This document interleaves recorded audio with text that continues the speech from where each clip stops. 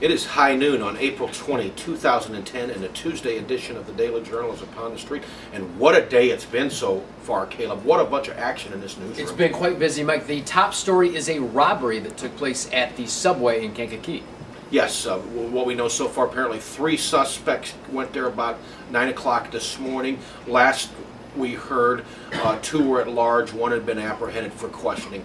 Uh, continue to check this website for details throughout the day. Also, at the Bourbonnais Terrace Assisted Living Home in Bourbonnais, there was what's being called a compliance check that took place over there involving various state agencies. Again, we have a few details with more coming, so continue to check this website throughout the day. Quite a bit of serious stuff going on. Mike, a more light-hearted piece in today's paper, one about a woman who is enjoying going back to the circus after a long time. Yes, Betty Shockey. She grew up in Freeport, and her, uh, the highlight of each year when she was a young girl up there was when the circus came to town.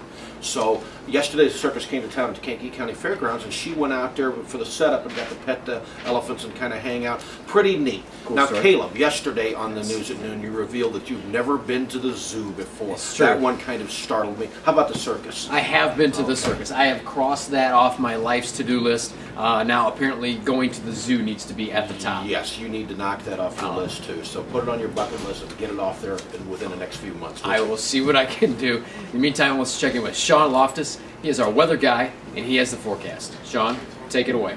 Hey everybody, how's it going? This is Sean Loftus, your videographer and weather guy for the Daily Journal, and I'm here to give you your AccuWeather forecast. So it looks like this week we're going to be having weather as persistent as the nagging feeling in your stomach. And by nagging feeling in your stomach, I mean the mid to upper 60s throughout the rest of the week.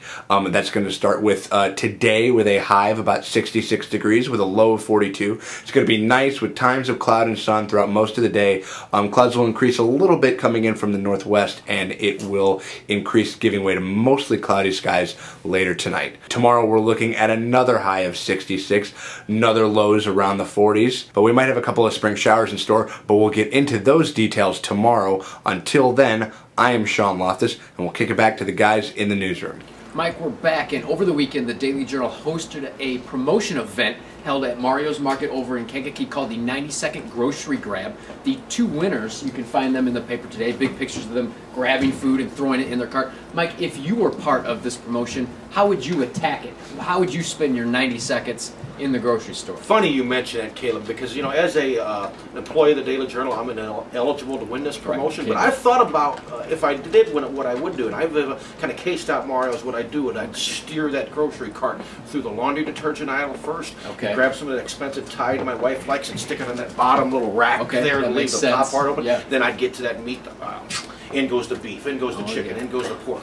The carnivore is loading up, okay? And I'll get me enough meat to last me several months. So yeah, I've actually thought this thing. You probably out. went over there and had to like restrain yourself from actually doing it. I can see. Yeah, I don't want to be uh, in the uh, blotter section for shoplifting. So yes, I did restrain myself. Now, Mike, do you have one of those big deep freezers at home where you Indeed can keep? I do. Okay, well, sounds like you're all set. Um, it's too bad you can't do that. I'd like to see that. Yeah, it's kind of funny though. Even if I'm paying, you know, meat and potatoes, what more do you need in the cart? That's all you need. That's all you need. You check out today's edition of the Daily Journal. Pick it up on newsstands or subscribe by calling us at